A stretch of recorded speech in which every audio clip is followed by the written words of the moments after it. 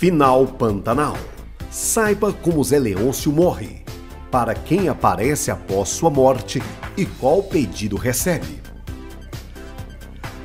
A morte do rei do gado poderia ter sido evitada, mas Zé Leôncio negligenciou os resultados dos exames e o diagnóstico do médico, que dirá ao fazendeiro que ele precisa fazer com urgência uma cirurgia no coração.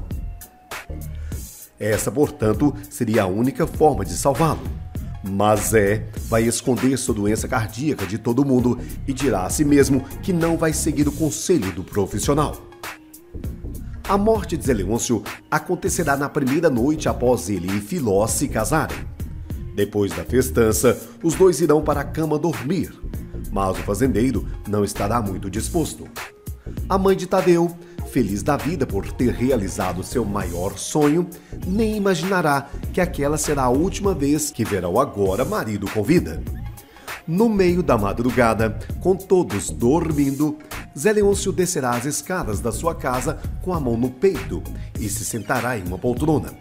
Totalmente desconfortável, ele dirá que irá para São Paulo assim que Jove, Jesuíta Barbosa, acordar para fazer os exames.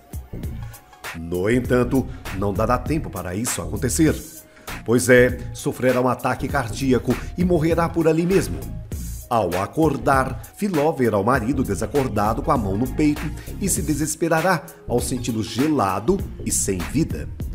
Após sua morte, Zé Leôncio vai encontrar Joventino e constatará que ele realmente é o seu pai. O encontro será emocionante. O velho do Rio dirá que precisa descansar, mas vai alertar que o bioma e a família Leôncio precisa continuar com o guardião e passa o destino para Zé Leôncio. Nesta sexta-feira, dia 7, Pantanal vai exibir o seu último capítulo ao público. E Zé Leôncio, já como novo velho do Rio, vai encontrar com a neta já crescida. A entidade protetora terá o primeiro diálogo com a neta e ouvirá um pedido especial feito pela menina. Vô, conta uma história? Pedirá a menina.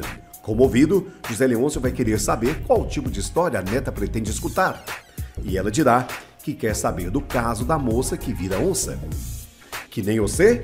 Indagará Zé Leôncio, fazendo referência ao poder sobrenatural de Juma que será herdado pela neta Assim como a mãe, a menina dirá que só se transforma em onça quando fica com raiva.